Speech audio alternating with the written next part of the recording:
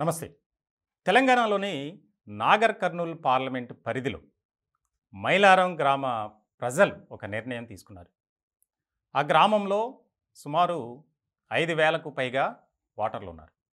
ఇలాంటి సందర్భంలో రెండు వేల పదహారు నుంచి ఆ గ్రామంలో మైనింగ్ జరుగుతుంది. అక్కడ ఉన్నటువంటి గుట్టల్లో ఒక ప్రభుత్వం అనుమతితోనే మైనింగ్ జరుగుతుంది.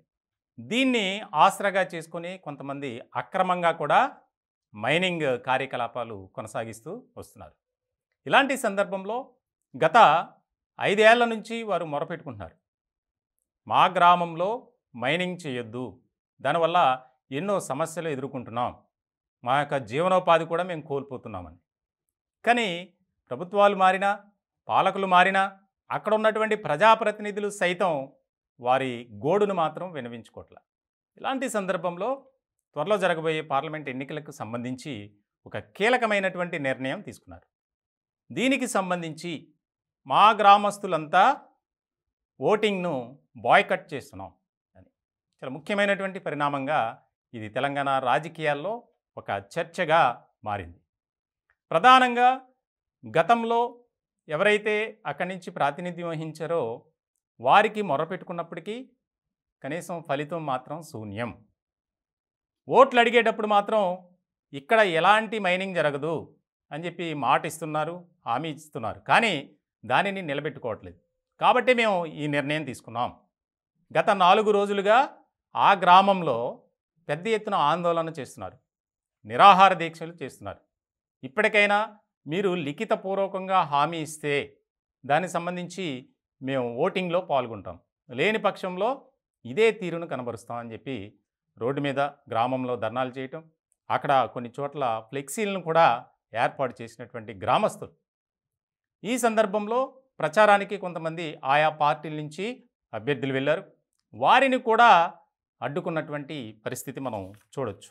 చాలా ముఖ్యమైనటువంటి పరిణామంగా మారింది. అక్కడ కాంగ్రెస్ పార్టీ నుంచి మల్లు రవి అలాగే భారతీయ జనతా పార్టీ నుంచి పోతుగంటి భరత్ బీఆర్ఎస్ నుంచి ఆర్ఎస్ ప్రవీణ్ కుమార్ ఈ ముగ్గురు మధ్య ప్రధానమైనటువంటి పోటీ నెలకొంది. ఇలాంటి సందర్భంలో ఎవరు వెళ్ళినా సరే వారిని వ్యతిరేకిస్తూ వారికి వ్యతిరేకంగా నినాదాలు చేస్తున్నారు. ఇలాంటి సందర్భంలో ముఖ్యమంత్రి రేవంత్ రెడ్డి గారు మా గ్రామం వైపు చూసి మాకు జరుగుతున్నటువంటి అన్యాయాలు ఇక్కడ కొంతమంది అక్రమ మైనింగ్కు పాల్పడుతున్న వారిపై చర్యలు తీసుకొని మమ్మల్ని రక్షించండి మా జీవనోపాధికి అదే మార్గం. కానీ వీరంతా ఇలా చేస్తున్నారు అని వారు ఆవేదన వ్యక్తం చేస్తున్నారు. మనం చూస్తున్నాం స్క్రీన్ మీద ధర్నా చేయటం అలాగే కొన్ని ప్రాంతాల్లో ఫ్లెక్సీలను ఏర్పాటు చేసినటువంటి పరిస్థితి. గుట్ట ముద్దు ఓటు వద్దు పార్లమెంట్ ఎన్నికల్లో ఓటింగ్కు మేము దూరం అని చెప్పి ఎన్నికలను బహిష్కరిస్తున్నాం. మా ఆవేదనను మొరపెట్టుకుంటున్న కనికరించిన ప్రజాప్రతినిధులు అధికారులు తీరును తీవ్రంగా వ్యతిరేకిస్తున్నాం. గుట్టపై మైనింగ్ కోసం ఇచ్చిన అక్రమ అనుమతులు రద్దు చేసే వరకు పోరాడతాం. పర్యావరణాన్ని పురాతన ఆలయాలను కాపాడుకుంటాం. సో మొత్తానికి అక్కడ ఆ ప్రాంతంలో కొన్ని ఆలయాలు కూడా ఎంతో కాలం నుంచి ఉన్నాయి. ఇటువంటి సందర్భంలో ఈ మైలారం గ్రామస్తులు చేస్తున్నటువంటి ఆందోళన తీవ్ర పరిణామాలకు దారితీసే అవకాశాలు కనిపిస్తున్నాయి. దీనిపై కాంగ్రెస్ ప్రభుత్వం స్పందించకపోతే సరైనటువంటి రాష్ట్ర వ్యాప్తంగా మేము ఆందోళన చేయడానికైనా సిద్ధమే. ఏదైతే ప్రభుత్వం అనుమతితో కొంతమంది అలాగే అక్రమ పద్ధతిలో కొంతమంది మైనింగ్కి పాల్పడుతున్నారు.